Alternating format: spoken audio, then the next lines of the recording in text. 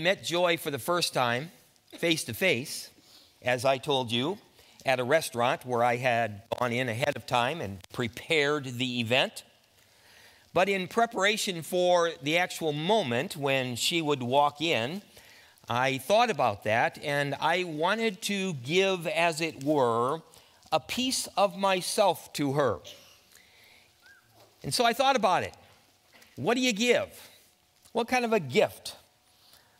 What could be important enough? How do I represent myself so that when she goes away, she understands this actually represents him? And so I pondered it and I thought about it. And one of the things that I knew I wanted to do was to give her a card. But I'd never met this woman before. And I went into Hallmark and I said to the lady that was working in there, I got a problem. Do you have a I've never met this woman before, but but I'd like to get to know you card? And we hunted and hunted and hunted, and yep, she found one for me. And I told her, you know, I, I don't know where this is going to go, but I would like it to go somewhere, but I don't want to sound pushy and I don't want to sound too, too nonchalant about this. And so we found this, this card covered with seashells, Alaska seashells, no less.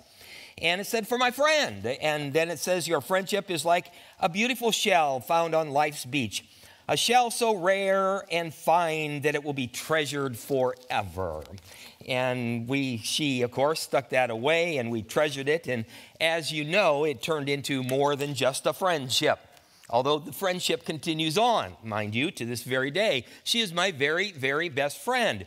But I also brought her some yellow roses. Didn't want to do red, guys, right? Because, you, you know, that's jumping ahead a little bit but yellow is friendship roses, and I brought those for her. And then I wanted her to understand a little bit of kind of my spirit.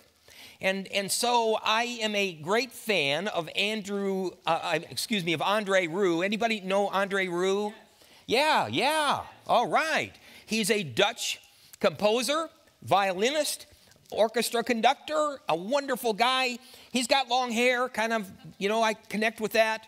And, um, and so I took her um, a set of CDs from Andre Rieu and from Leroy Anderson. You know Leroy Anderson? Christmas time, you hear songs like Sleigh Ride, and he wrote that. Or those of you that are old, Jim, like you and me, um, the typewriter. Remember that? Remember that typewriter? And he's the writer of that. And so that gave her a little piece and understanding of the kind of music that I enjoy, other than church music and worship music.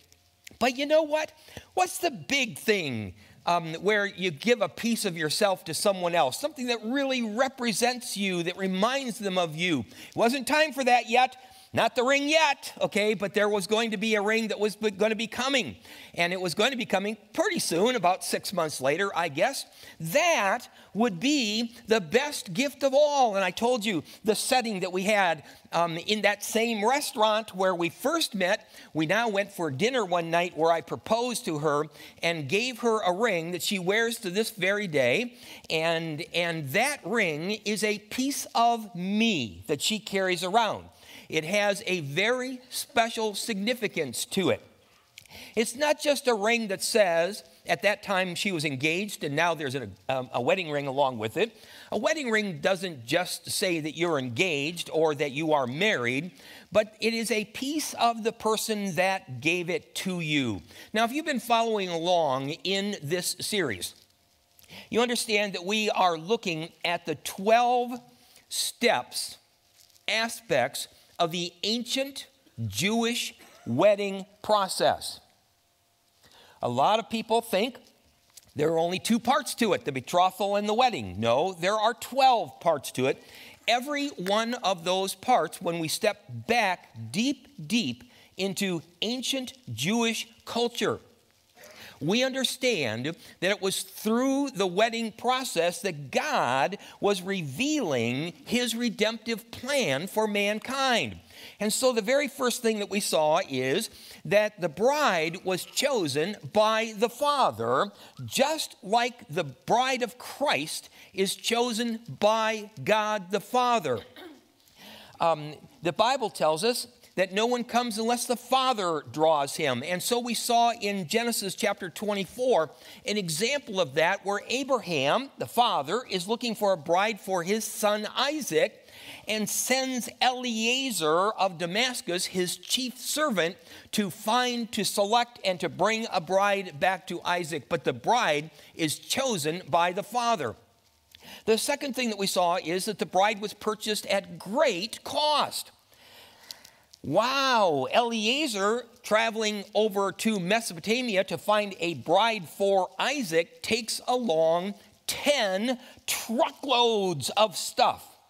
Now, they called them camels, but you got to understand they were truckloads of gifts and payment.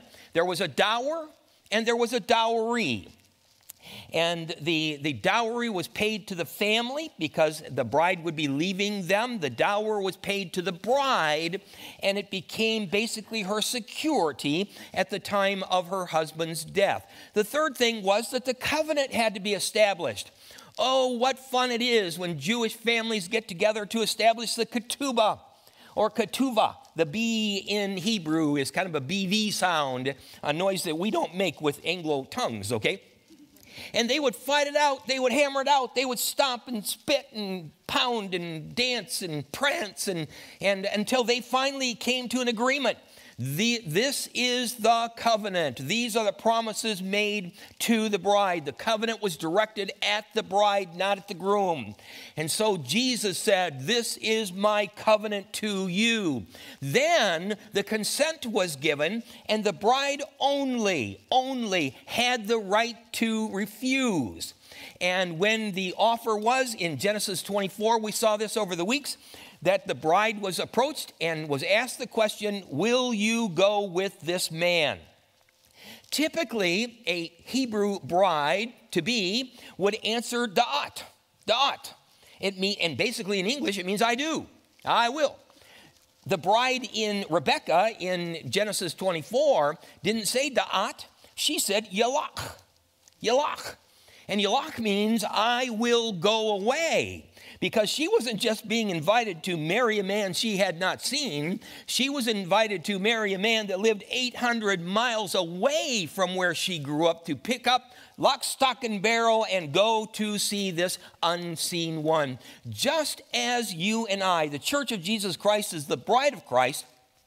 And we are the bride of Christ, and our groom is an unseen groom. We have not seen him yet. And then the fifth step is that the bride drinks a cup. And that cup officially accepts the offer of marriage. And after the, the, the uh, consent is given and the cup has been consumed by the bride and the groom, the groom cannot change his mind. And so we saw last week that if the groom understands that the bride is unworthy in some manner or another, and yet has invited her to be his bride, he can never go back and say, well, there was, there was uh, previous um, um, sexual activity, fornication that was committed, and so I'm putting her away, I'm divorcing you. No. Once the groom accepted the bride in all of her fault, in all of her unworthiness, he could never change his mind. When the Lord Jesus Christ called you to be his own, he understood your past. He understood you don't ever want to run for public office because you don't want all that stuff smeared all over the news. He understood your faults. And he said, I want you anyway. I want you to be my very own. And the Lord Jesus Christ can never change his mind about his invitation to you to be the bride of Christ. Today I want to talk about the coin. And the, the coin is always a tough one. And I'll be honest with you, I use the word coin, and I'll show you in a little while why it's an applicable word. But it could be the word gift, it could be the word ring, engagement ring, or wedding ring. Um, it could be lots of different things, but none of them start with the C. Okay? And you know how important that is to me. I can't have one point in all of this that doesn't start with a C. And so I'm going to call it the coin. In Revelation, I'm Romans chapter 7 and verse 4, we read the Apostle Paul says, You are married to him who rose from the dead. The scripture uses marriage language all over the Old Testament and all over the New Testament, and it's the word ginomai in the Greek, ginomai. Now, some of you remember when I've been teaching through Romans in various different places, when the Bible says, um, What should we go on sinning that grace may abound? Paul says, Me ginomai. And I often translate that as say it ain't so, Joe, say it ain't so, okay? But what it really is, is not true. Miginomai, not so, not true. The opposite to drop the, the, the, me, which is the negative part, and just have ginomai means true. And the ancient Jews used the same word to be true or truth for marriage. I am true to my wife, and she is true to me, and it represents our marriage very well. We saw that the covenant had to be based on truth. And that's why Jesus said, This is the new covenant in my blood. I tell you the truth. It was based on truth. Ginomai. And so in 2 Corinthians 11, 2, it says, I have promised you to one husband, and that husband is Christ. Revelation 19, 7, let us rejoice and be glad and give him glory, for the wedding of the Lamb is come, and his pride, his bride has made herself ready. Fine linen, bright and clean, was given to her to wear. Fine linen stands for the righteous acts of the saints. And so, if you would stand together with me, I'd like to read our scripture reading this morning. And I'm going to take you back in Genesis 24. We're going to take up the story of Eliezer coming to find a bride for Isaac. Now, you remember that Abraham said, I want you to go back to my, to, to my people and find a bride there. And so Eliezer's a little nervous about that. What if I can't find anybody? What if no one will come with me? But Abraham is convinced by faith that this will be so. So um, Eliezer finally arrives in the land. he sits down and he prays and he is by a well. And he's saying, Lord God, let it happen here. And so in, I'm going to start our scripture reading today in verse 15. And it says, Before he had finished praying, Rebekah came out with her jar on her shoulder. She was daughter of Bethuel, son of Milcah, who was the wife of Abraham's brother Nahor. The girl was very beautiful, a virgin. No man had ever lain with her, or in other words, never been married. She went down to the spring, filled her jar, and came up again. The servant hurried to meet her and said, Please give me a little water from your jar. Drink, my Lord, she said, and quickly lowered the jar to her hands and gave him a drink. She was carrying it on her head, and she lowered it to her hands and gave him a drink. And so, verse 19, it says, And after she had given him a drink, she said, I'll draw water for your camels too. Now we know that he has 10 truckloads of gifts plus the, the camels that he and his servants are riding on. That's a lot of camels, folks. It says, I'll draw water for your camels too until they have finished drinking. So she quickly emptied her jar into the trough, ran back to the well to draw more water, and drew enough for all his camels. About, doesn't say this in the text, but it's about 200 gallons of water that she had to draw in order to water these camels. Verse 21 Without saying a word, the man watched her closely to learn whether or not the Lord had made his journey successful. When the camels had finished drinking, the man took out a gold nose ring weighing a beka, about four, um, half an ounce, and two gold bracelets weighing 10 shekels, about four ounces. And then he asked, Whose daughter are you? Please tell me. Is there room in your father's house to spend the night? And she answered, I am the daughter of Bethuel, the son of Milcah, born to Nahor. And she added, We have plenty of straw and fodder, as well as room for you to spend the night. Then the man bowed down and worshiped the Lord. Heavenly Father, as we come to your word now, as we step back into ancient culture and ancient tradition, Lord, we have seen so clearly up until now that each step in the wedding process represents our salvation, your redemptive plan at work in our lives. Now, Lord, may we see the token of yourself that you have given to us. And while we don't wear a nose ring or a headband or an arm bracelet, we wear something even better, more real, that represents you, that is a part of you, and we wear it proudly. Lord, bless this time, I pray, in the name of Jesus. Amen. Thank you. you may be seated. So, the sixth step is the step I like to call the coin. No betrothal or engagement would be complete without a gift for the bride. In fact, guys, does that ever stop becoming an important thing? You don't just give a gift to win the girl but you keep on giving gifts. That's what Christmas is about. That's what Valentine's is about. That's what birthdays are about. And that's what just surprise occasions are all about. Is to continue to give a piece of yourself represented in the gift that you are giving to her. So in Genesis 24, 22, Abraham's servant took out a gold ring, no, a gold nose ring.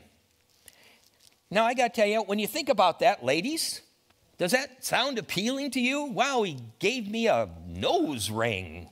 I actually regret that that isn't part of our culture. Now, I'm a man, okay, but those were beautiful, beautiful emblems that represented the groom to the bride. And it says in verse 47, then I, because he's recounting this story now to, to Rebecca's father and brother, then I put the ring in her nose and the bracelets on her arm. So in Abraham and Isaac's day, brides wore the engagement ring in their nose, not on their finger. Now, rings on fingers were, were around back then, but they tended to be signet rings, signature rings. And so you would use that to make a mark and my mark or my signature represents me. If, um, if um, the youth go up to you, Tommy, would they ever do this and say, I checked with the pastor and he said this was okay? Okay? And, and you say, Well, I don't believe you, but if they showed you a document I had signed, that signature is as good as me. It's a part of me, okay? And so, and so, in the same way, a signet ring was also, but also was the nose ring, except this wasn't intended for other people. This was for the bride and for the bride alone. Wow, there's what an ancient nose ring looks like. Um, Mary, dim that just a little bit for these four pictures that I have. That's good, okay? And there's another one a little bit more elaborate. Is that awesome? And check that one out. And look at this one. Now, that one is my favorite because it shows an entire headpiece and it shows the nose ring, which is an engagement ring, and it goes up to the ear and then it goes uh, uh, uh, over her head and actually has a coin in it or a, um, a representation of a coin that is in it. So that's typically what it looked like. Now, the tradition in ancient times, grooms gave a gift of gold or silver jewelry as part of the betrothal proposal. And so we see Isaac, who was very, very wealthy, and his Abraham, dad, very, very wealthy, did not give silver, they gave gold. Isaac gave gold through Eliezer. And in Jesus' day, things had changed a little bit. The groom often gave a gift of gold or silver coins to the bride. And believe it or not, and that was the engagement ring, it was a head ring, a headband, as it were. And, and, and it was a very important thing when she would wear that around. Everybody knew that she was she belonged to another, and another belonged to her. She was committed to another, and another was committed to her. The headband, the, the coins that she wore, represented the one who had given it to her. So, um, it's still seen today, by the way, in Hispanic cultures. Forgive me for my poor Spanish, but the Madrina de Arras, something like that, can't roll my R's very well, um, is 13 coins. Some of you from the Spanish culture know, representing Christ and the 12 apostles. It becomes part of um, the relationship today. Scottish engagement sometimes still involves putting a coin in the bride's shoe. Um, it's a silver sixpence that they use. Um, even in America, when I was in high school, you guys remember penny loafers? Yeah? Yeah, some of you, some of us wore those, didn't we?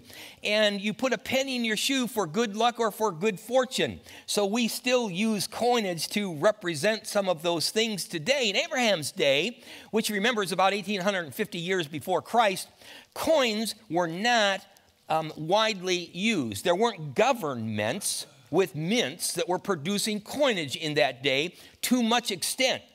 Gold jewelry was a more common means of exchange or a common means of barter. It was basically value because it was something you could wear, but something you could trade, something you could sell, something you could use to barter with. By Jesus' day, the Roman government was producing coinage, and coins were used both in trade and in jewelry. Again, using it as their point of trade, but they could wear their coins and then use them to buy something. And so in Jesus' day, a, a headband that a woman received for engagement would look something like that. Now, if you count one, two, three, four, five, six, seven, eight, nine, ten, there happens to be 10 coins in that. 10 is the number of perfection in the uh, Jewish understanding. And that was a typical engagement headband that would be used that a groom would give to the bride. And there you see a picture of her wearing one of those. What's the significance of all of this? Well, it was more than just a simple gift, folks. It carried meaning, rich meaning, deep, deep traditional significance. It was to be cherished it was to be cared for by the bride until her wedding day, and then became a family heirloom for the generations that followed that so that they could always remember. This was mom's engagement band. This was grandma's engagement band or wedding band. This was great great grandmas, okay? And they were cherished and, and they were precious because it was great tradition and it showed the love between the groom and the bride, the commitment between the groom and the bride. It was a piece of the groom given to the bride. So the bride, when she received that from the groom in ancient times, was mindful of three things, and the gift was always, always, always kept close to her and was to remind her of those three things. Now, I want you to think of it in, in terms today of ladies, your diamond engagement ring. How many of you, you don't have to raise your hand because I already know the answer, would be devastated if one day you were washing your hands and your ring was gone? Or worse, or worse yet, or as bad, just the diamond gone. My goodness, you would be calling a plumber and tearing the sink apart and trying to find out where did that go? Well, it was just as important to these women to keep that headband, to keep it in place, to keep it all together. Is let me ask you this, is your engagement ring okay as long as you have the ring but you've lost the diamond? Of course not, because it's not whole. It's not that the representation is missing. The important part is missing. And so it was important in ancient times for the bride to keep this all together. She had to be mindful, or it kept her mindful of three very important things. Number one, be excited. Huh. Are we excited about Jesus? Tommy, are you excited about Jesus? Well, thank you. You know, you know, um, Hey, are you guys excited about Jesus? Yeah, yeah. That, now we're sounding Pentecostal here, okay? Yeah, yeah. We're excited about Jesus. And Jesus has given us, I'm going to get to this, a gift to remind us to be excited. Do not quench the groom. That's what the headband, the ring, the nose ring, the headband meant to the bride of ancient times to be excited. You're engaged, you belong to another, and one day, one day, He's coming to get you. He's coming to get you. Watch, be alert, be mindful, be wakeful, because the day is coming and the day is coming soon. Be excited and do not quench the groom. She was to keep the fire burning with anticipation for his coming. Now, can you imagine if you walked up to somebody, a, a bride, they didn't know. They didn't know when the groom was coming in ancient times. It was a surprise, and the groom didn't come until the Father sent him.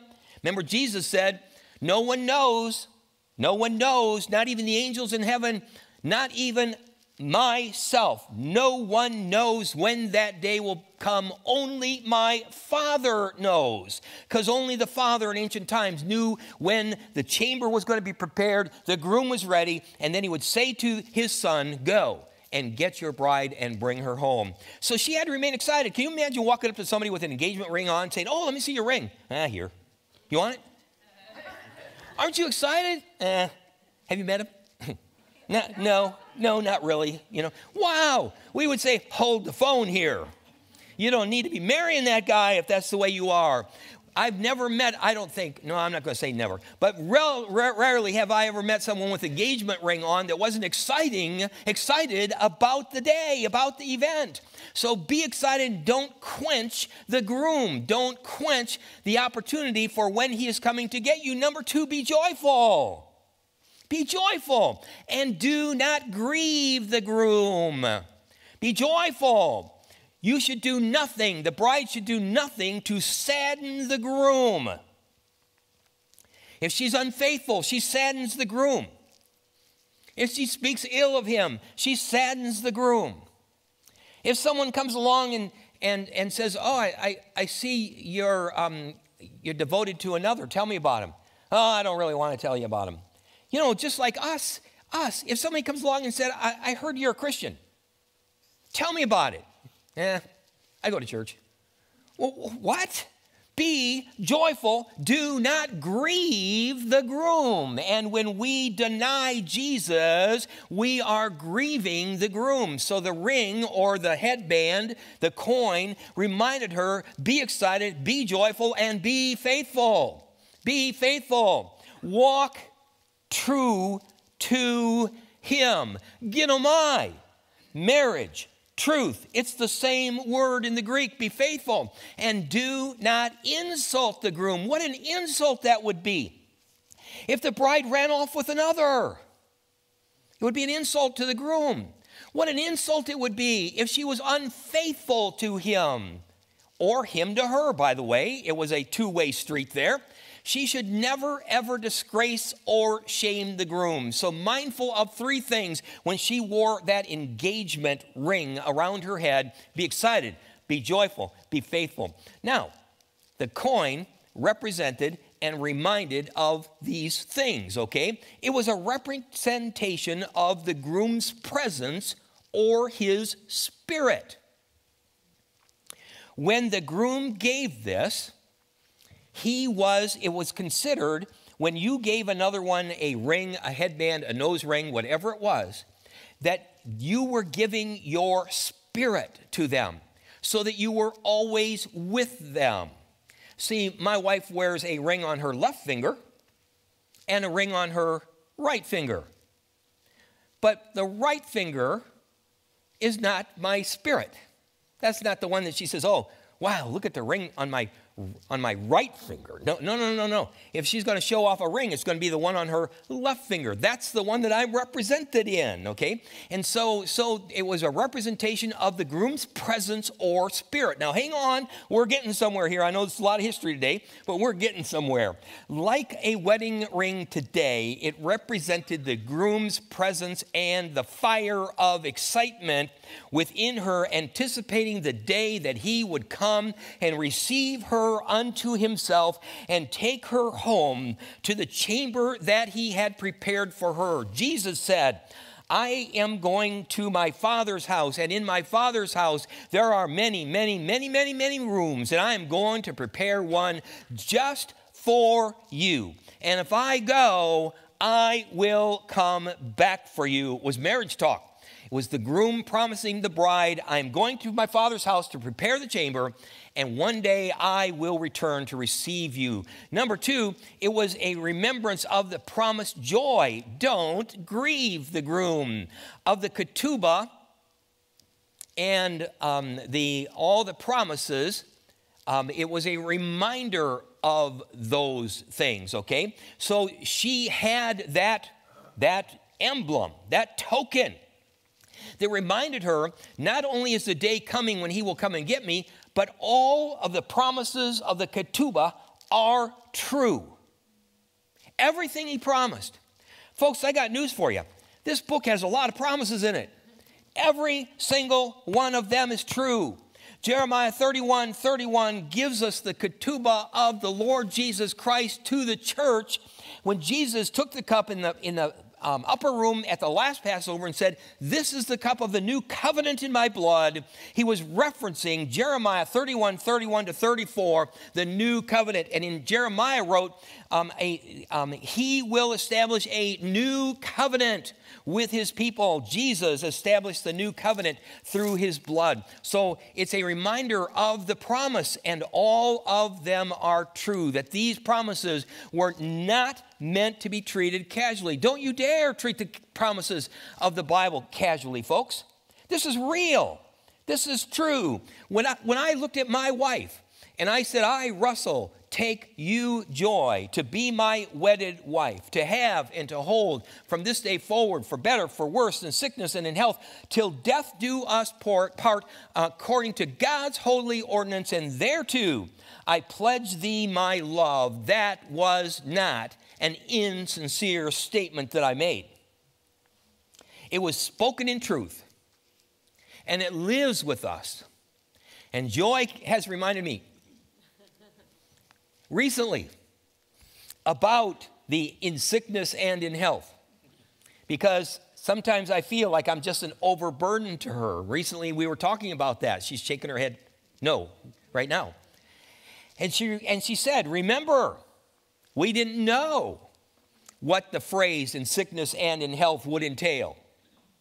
But you don't need to know. It is spoken in truth, and it is so. The ketubah is true. And number three, the responsibility to be faithful.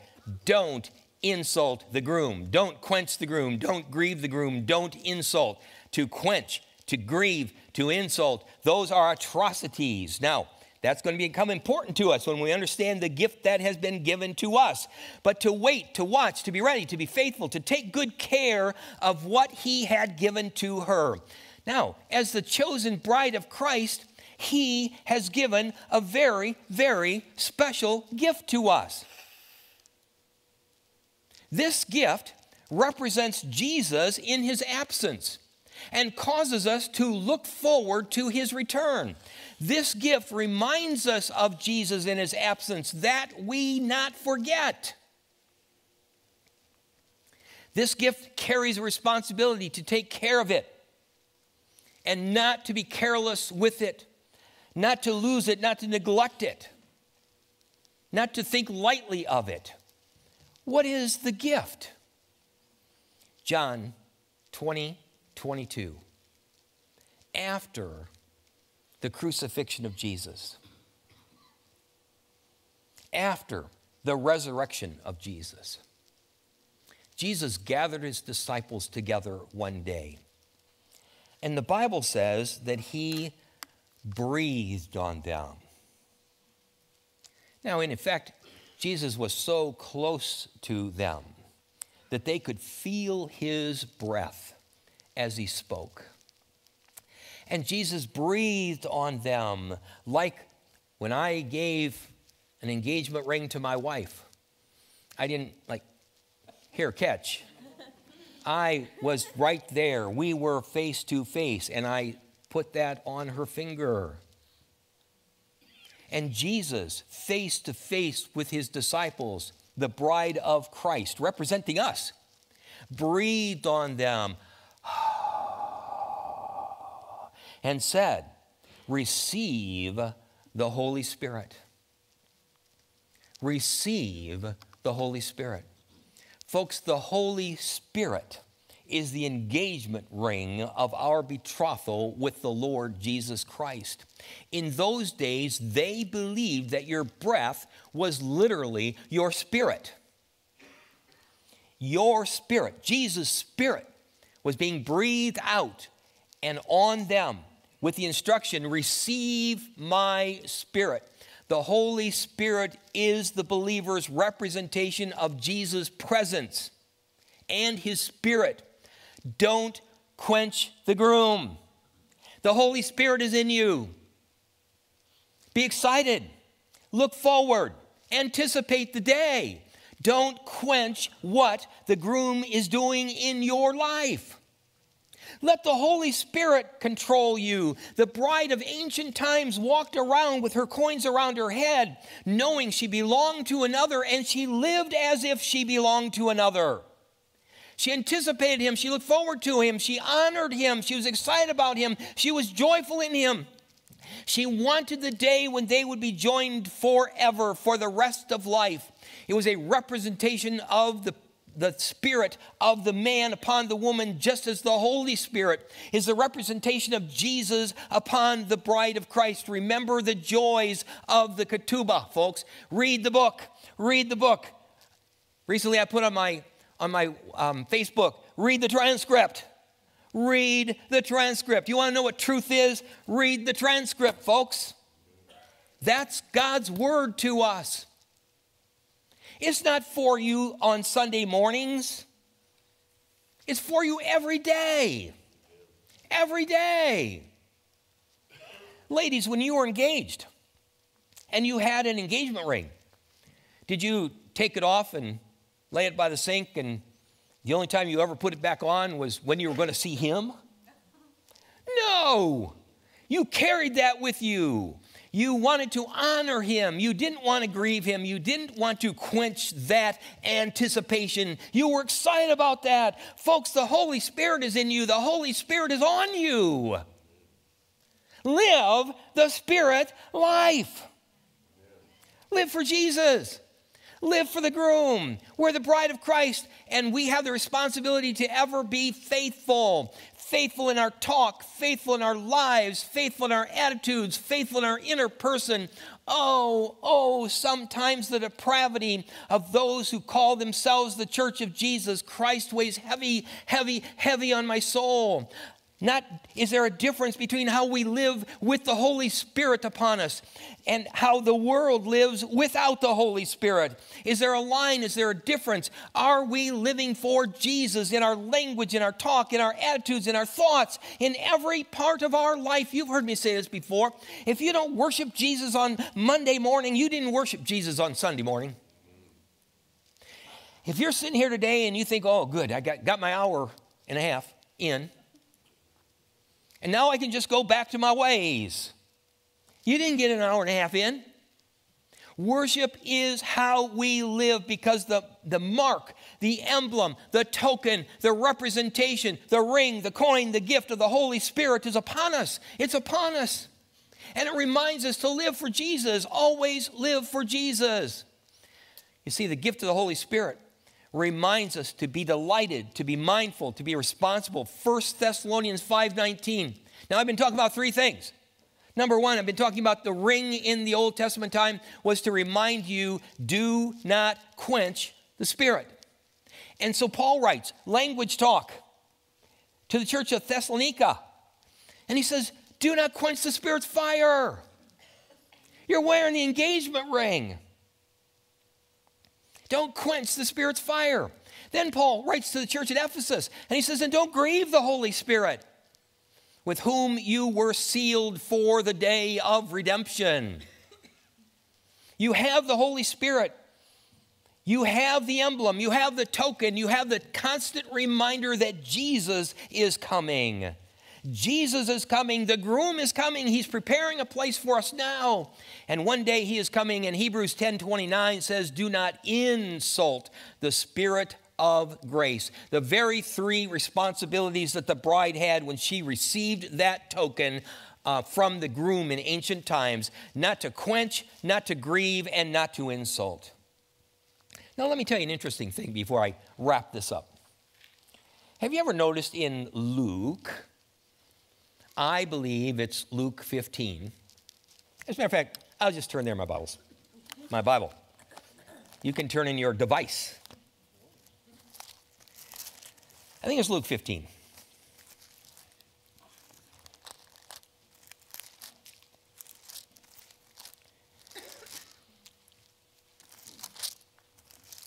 We'll get there. Luke 15 there is the very first thing that's listed in Luke 15 is the parable of the lost sheep.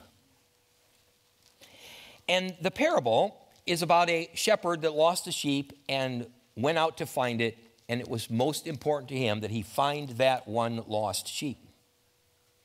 And then, if you drop down to verse 11, that's the parable of the lost son. And so we have that account of the son that wandered away and finally came back to the father. We, it's easy for us to understand the parable of the lost sheep and the parable of the lost son. But right in the middle of that, have you ever noticed this? Right in the middle of it, the parable of the lost coin. Have you ever scratched your head and said, You lost a quarter? Look what it says. It says, Or suppose a woman has how many? Ten. Huh. Remember the headband? How many did I count? Ten. Ten. The number of perfection. Suppose a woman has 10 coins. What are we talking about? We are talking about an engagement ring here, folks. We are talking about the spirit of the groom being given to the bride for her to cherish, for her to keep, for to remind her every single day of the one that loves her and the one that's coming for her. And it says so. She loses one of those, she loses a diamond out of her engagement ring.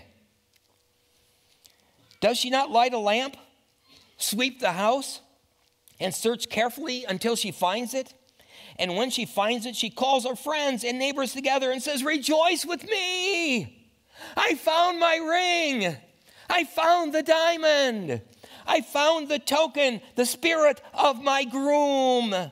I found it. I have it. I can honor him. I can cherish him. I can be joyful. I can be excited. I can anticipate his coming now. He's not going to show up, and here I am having lost what he gave me. See, before I understood that this was marriage talk, that this was a reference to that headband of old that was given to the bride, I really scratched my head and I wonder, what's the big deal? And if I'm the neighbor, I'm thinking, like, okay, okay, let me give you another coin that was one of my grandchildren or something. Yeah, they lost a dollar. Oh, here's a dollar. No, no, that wouldn't do it. That wasn't the groom's. It wasn't the groom's gift to her. And so it became so important for her to hang on to, to hang tightly onto that which the groom had given to her. And so, folks, I conclude with this What have you done with the gift of the Lord Jesus Christ? upon your life. He hasn't given you a nose ring, and He hasn't given you a headband, and He hasn't given you gold bracelets for your arms, as Eliezer of Damascus, on behalf of Isaac of old, did to Rebekah. He has given to you the indwelling presence of the Holy Spirit. He's given to you a piece of Himself the reality of Himself. How do you live? How do you respond? How do you talk? How do you walk? Do you talk the talk? Jesus is mine. Do you walk the walk? I'm looking forward to the day when the groom comes for me, his bride. Are you faithful? Are you true? Are you sincere? Are you excited? And so in the Bible, we read, Lord, haste the day. Haste the day. How do you haste the day of Jesus coming if it's already been determined by the Father? Get busy. Get busy. You ever notice how fast the day goes by if you're busy and how slow it goes by if you're sitting in a wheelchair? Haste the day. Get occupied. Get busy. Get responsive. Talk the talk, walk the walk, live the life. And those that you work with, that you'll meet with tomorrow, do they see your relationship to the one whom you await? In front of your family, do they see your commitment to the one for whom you await? In front of the stranger, who you will never see again? Do they see in you a relationship with the one for whom you await in your words, in your actions? Do you live for Jesus? Do you live for Jesus? Let me leave you with this thought live for Jesus. Write it down, put it on the dashboard of your car, drive for Jesus. Put it on your forehead. we don't wear phylacteries around like the Jews of old did, but if we did, we could put that in there. Talk for Jesus. Put it deep inside your mind. Think for Jesus. Meditate on Jesus. Saunter in the Word of God. Walk with Him. Talk with Him. Love Him. Anticipate the day, for the groom is coming for the bride. He's not given us a coin, He's given us His very presence in the form of the Holy Spirit. May we bring honor and praise and joy and excitement until that day.